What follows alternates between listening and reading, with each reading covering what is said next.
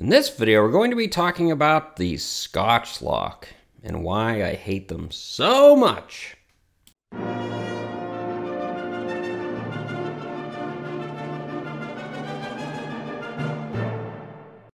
Hey guys, this is Josh with the Adept Ape channel, and in this video, we're going to be discussing something that when I see them, and I see them often, whether it's in a truck or a piece of equipment, or a bus, or an RV, it makes me mad because it's unprofessional when I see them because someone else was lazy. And what am I talking about? Well, you probably already guessed because of the thumbnail, but I'm talking about this. This little plastic and small amount of metal is an electrical connector. It's called a Scotchlok or an insulation displacement connector. It's a piece of junk. And I'm going to tell you why it's a piece of junk and why you should never use them. And when you see them, you should get angry, just like me.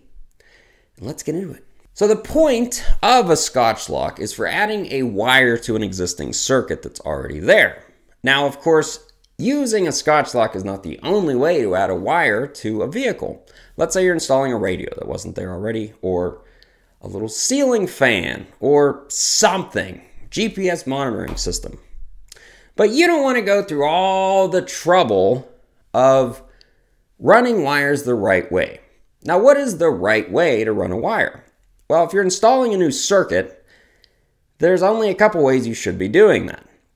The best way is to go find the fuse panel and then go to a spare fuse, or if the accessories slot is not being used, run a wire from there.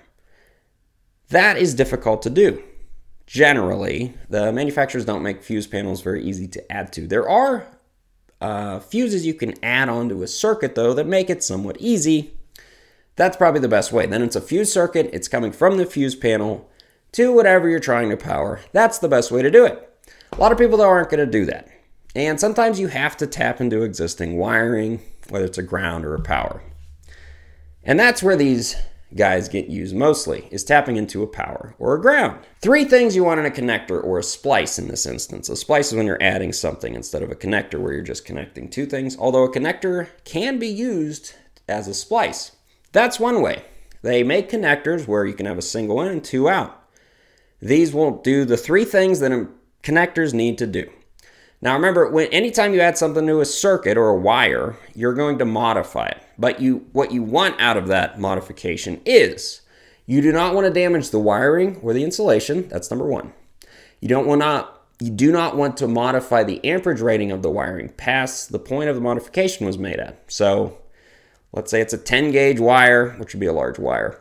If it's if it needs to carry 40 amps and then you modify it by putting connectors or whatever, and now it only hurts, we'll pull 30 amps, that's going to cause resistance, which can cause electrical fires, faults down the stream, all sorts of problems you do not want in the future. And last but not least, it needs to be as corrosion inhibiting as possible. The wiring insulation is there to protect the wiring on the inside. So when you damage that or modify it, it needs to be covered up and not just by electrical tape. Heat shrink's great. Uh, Deutsch style connectors are great. There's 100 different style connectors. Heat shrink is probably the most versatile because you can use a butt connector, then heat shrink over it, or solder it, heat shrink over it. Of course, like a Deutsch style connector is weatherproof as part of it, this design itself, and the pins and sockets are great because they will not reduce the amperage rating of the wire downstream. Which gets us back to this. The way this works is actually extremely simple. There's two barrels. Basically, the open one on this side, you slide it over the current wire. Then you run your new wire into this one. You then just take a pair of pliers or a hammer or a rock, you know. If you're doing this, you could probably use a rock. You probably don't have any tools and you simply pinch this down and it has two blades, literally blades. It cuts through the insulation. That's why it's called an insulation displacement connector. It then electrically connects the two wires because this thing that looks like a paper clip will just cut into both pieces of wire. Now, let's follow the three criteria I just discussed. Does it damage or either the wiring or the insulation? Yes, it damages both.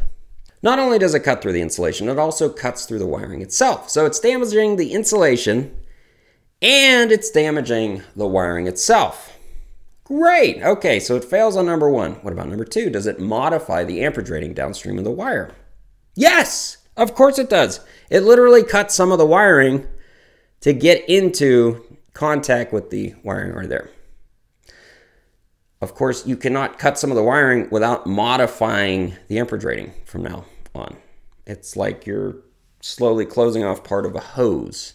It's not going to have the same volume of flow after that. Same with the amperage rating.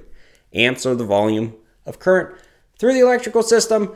That's why there's different size wires. The bigger the wire, the more amperage rating. If you start cutting some of the wires on the inside, you're decreasing the amperage rating. So it fails on number two. What about number three?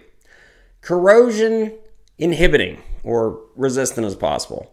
This is the worst feature of this. This has zero, zero, not even 1% corrosion inhibiting properties.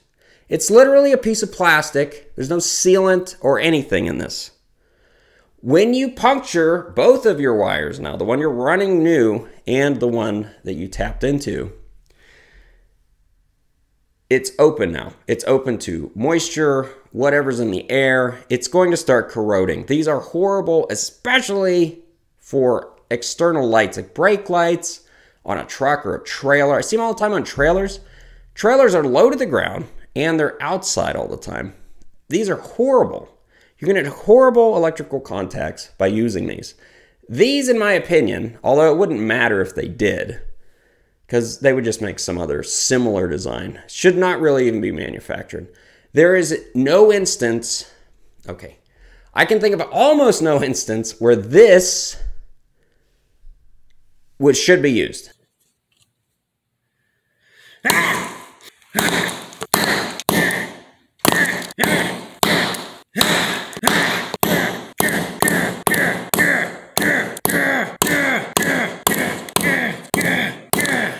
Least they're strong.